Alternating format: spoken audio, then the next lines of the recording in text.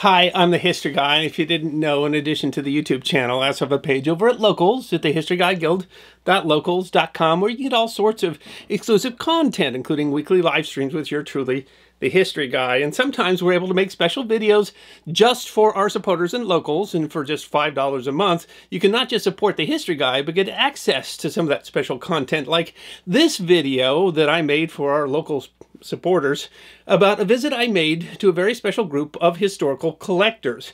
Locals people got to see this last March, and today I'm able to bring an extended version to you, the YouTube audience. And if you enjoy this episode, please consider becoming a supporter on Locals.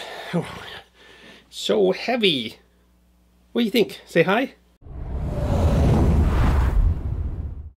Last fall, my son Josh and I were given a special invitation to go visit with some hobbyists who are dedicated to preserving a specific bit of history.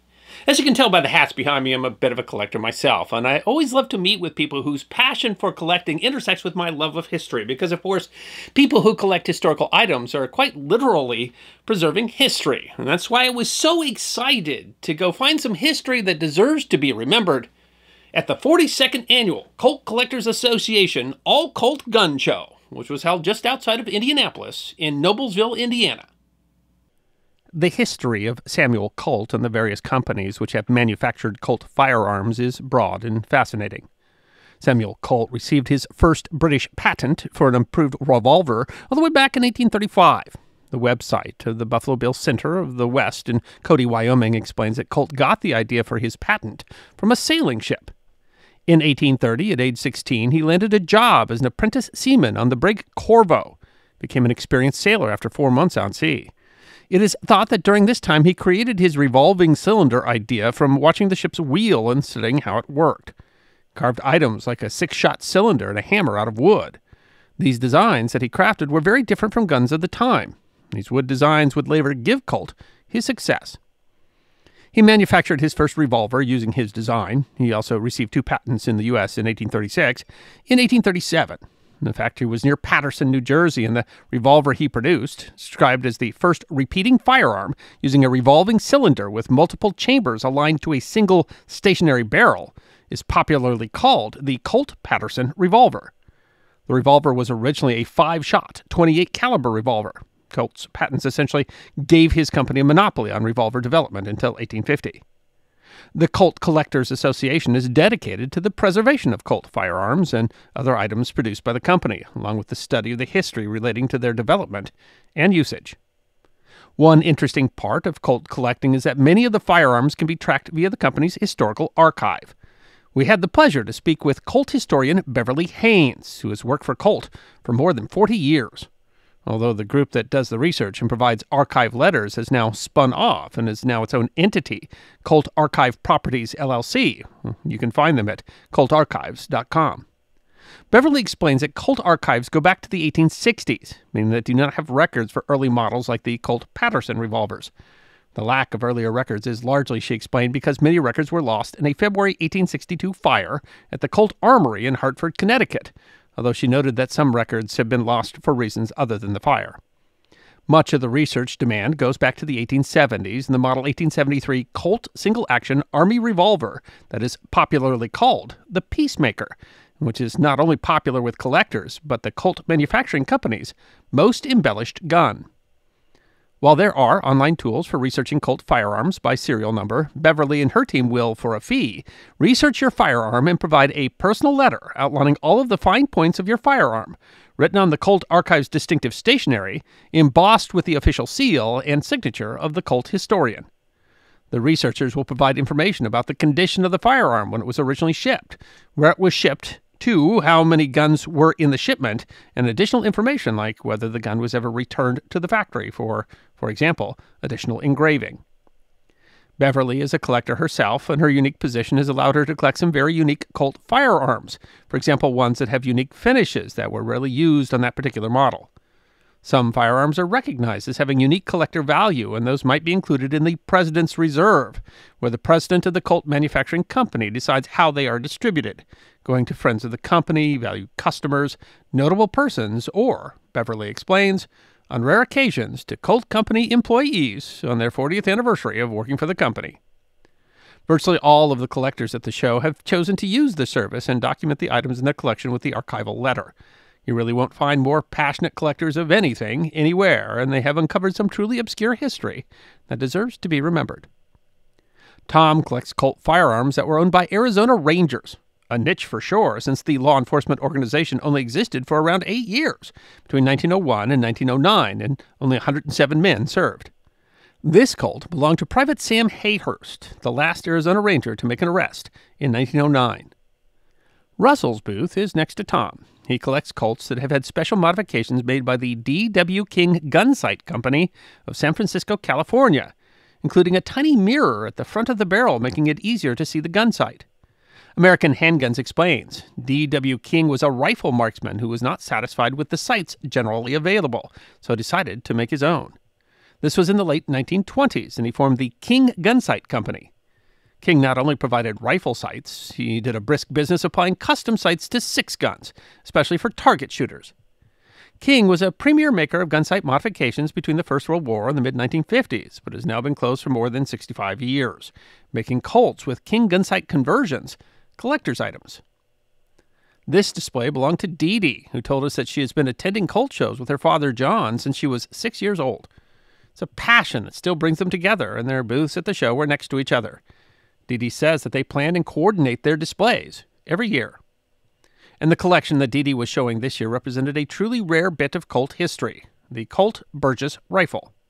Designed in 1883 by American Andrew Burgess, the patent for this lever action rifle was sold to the Colt Company. Colt had specifically engaged Burgess to design a rifle to compete with the lever action rifles of the Winchester Company.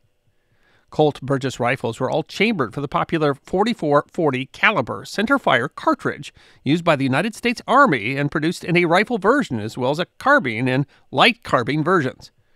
The Colt Burgess was produced for a period of less than 21 months between July 1883 and 1885. Dee explains that when Winchester saw Colt, known for producing handguns, was trying to move into the lever action rifle market, then dominated by Winchester, Winchester threatened to design a handgun to compete with Colt, and the two reached a gentleman's agreement to stay out of each other's space. Colt continued to make rifles, but moved to the Lightning, which used a pump rather than lever action. The short production period means that Colt Burgess rifles are exceptionally rare firearms. Total of only 6,403 Colt Burgess rifles were produced. But a collector can't stop there. For example, Dee Dee showed in her display a deluxe special order light Burgess, one way to distinguish the carbine from the rifle is the ring on the side of the carbine, used for a carrying strap. She explains that only about a thousand of the light Burgess carbines were produced. Only 2% of those were special order, and only five of the case hardened version in her display were made.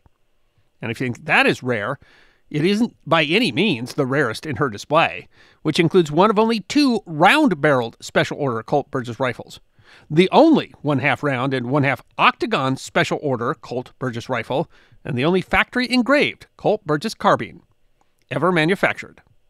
Another hinder display was a special order rifle shipped to Colonel Jacob L. Greene, who was George Custer's adjutant general during the Civil War and best man at Custer's wedding to Libby Bacon in 1864. Dee Dee said that she collected her first Colt Burgess rifle about 25 years ago and kept collecting them because they just didn't make many of them. She's collected about 80 of the rare rifles, and each one of those is unique because, she says, she doesn't keep duplicates. Her father John's display featured another rare part of Colt history the Colt conversion. Guns Magazine explains that what cartridge conversions represented was a change of concept from revolvers accepting loose powder and ball or paper cartridges rammed in from the front of the cylinder to ones taking fully contained metallic cartridges loaded from the rear of the cylinder. The reasoning, the magazine explains, was that until 1869, Smith & Wesson controlled the patent on revolver chambers bored completely through. Therefore, Colt had to stand fast with their cap and ball revolvers or have nothing to sell at all. They could not join the metallic cartridge age until the patent expired. It did, and by 1871, Colt began selling the so called conversions although the magazine explains the term conversion is a misnomer because it implies the genre of revolver was actually converted, that its revolvers were already built as cap and ball types and were converted to fire metallic cartridges. Colt conversions weren't built that way. They were assembled from a mix of parts left over from cap and ball revolver production and newly manufactured ones. In truth, it was a brilliant business move because it allowed the Colt Patent Firearms Company to convert literally tons of obsolete parts for revolvers, no longer in production, into cash. Conversions allowed Colt to sell metallic cartridge revolvers more cheaply than most competitors, although the process represented a unique period until supplies of parts from previous models, the most common was the Model 1860 Army 44, were exhausted. Like his daughter, John's display featured rarer versions of an already rare class of Colt firearms, representing a transformational period for firearms. Another collector who preferred we not mention his name told us he had been collecting historic Colt firearms for 55 years and derived his passion from his father. His display this year represented another bit of nearly forgotten history, the time of the Cellar Club. This hobby was developed around a well equipped 12 yard shooting range, literally in your cellar. The collection included Colt New Police Target and Police Positive Target revolvers manufactured between 1897 and 1941. Despite the name, these were not firearms made for police use, but rather light caliber pistols designed around a similar frame. The marketing piece is that they were designed with a smaller frame in order to provide a target revolver for shooters who prefer a lightweight arm. In practice, if the pictures in the marketing materials are to be believed, that meant a pistol designed for a lady with a lighter frame and smaller handle to fit her hand. Using these pistols was, the brochure insists, a new source of beneficial outdoor recreation and a clean competitive sport that developed steadier nerves, a quicker, keener eye, and added self reliance and confidence in an emergency. Most used 22 or 32 caliber ammunition, although they could be as large as 38. The collector explained that the hobby of shooting at your basement wall faded during the Depression when these pistols were considered luxury items, and more so after the Second World War when he explains lots of veterans had had enough and weren't interested in guns. Still, he's managed to collect a wide selection of the target pistols from the bygone Cellar Club era. The rarest are rather fancy for what was intended to be a simple pistol with utilitarian purpose. He proudly displays the only Colt Police Positive Target 22 caliber second model that was both factory engraved and gold plated. I was left to wonder what the original owner's cellar must have looked like. To show the breadth of the hobby, the booth next door belonged to Jim, the other collector's literal next door neighbor. Having retired, he was seeking a hobby, and inspired by his friend, he decided to create his own collection, although somewhat more modest in ambition. He collected a Colt catalog from 1952, the year of his birth, and then collected an example of every model Colt made that year. There were only 12 models in the catalog, but that meant collecting 14 guns, because he said two of those models came in two calibers. Robert prefers to collect Colt Model 1911s, a semi automatic pistol. He explains that people who collect Colt revolvers are called wheel gunners by collectors, while collectors who prefer semi automatic pistols are called bottom feeders.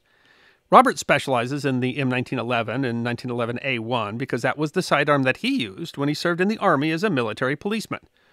This one was sent to Company K of the U.S. 21st Infantry at Schofield Barracks in May of 1940, meaning that it was almost certainly present during the attack on Pearl Harbor 19 months later. Robert also showed us a Colt Ace, a unique model 1911 modified with a floating chamber recoil booster. The idea seems odd. You would not typically want to boost a firearm's recoil, but the floating chamber was a training pistol, which allowed the gun to kick like a 45 while firing 22 caliber ammunition. This allowed the Army to provide realistic weapons training without using more expensive combat ammunition. Ironically, the inventor of the floating chamber was a convicted murderer named David Marshall Williams.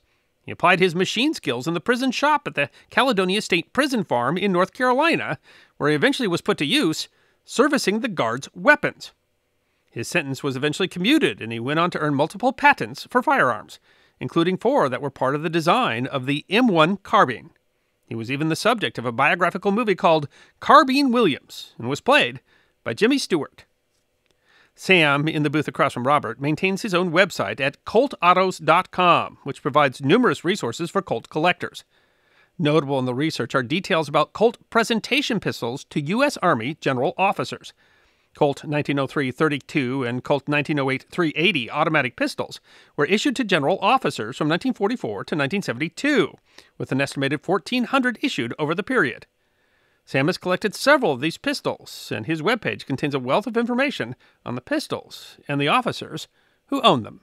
This was really just a few of the great people that we got to meet at the 42nd Annual Colt Collectors Association All Colt Gun Show. A truly gracious group of people who are passionate about their collecting. Heck, they even gave me this great set of Colt cufflinks, and thank you for those. And I would say that really I've just barely, shall we say, etched the surface of the things that we saw at the show. We might feature more people and things that we saw there in future episodes.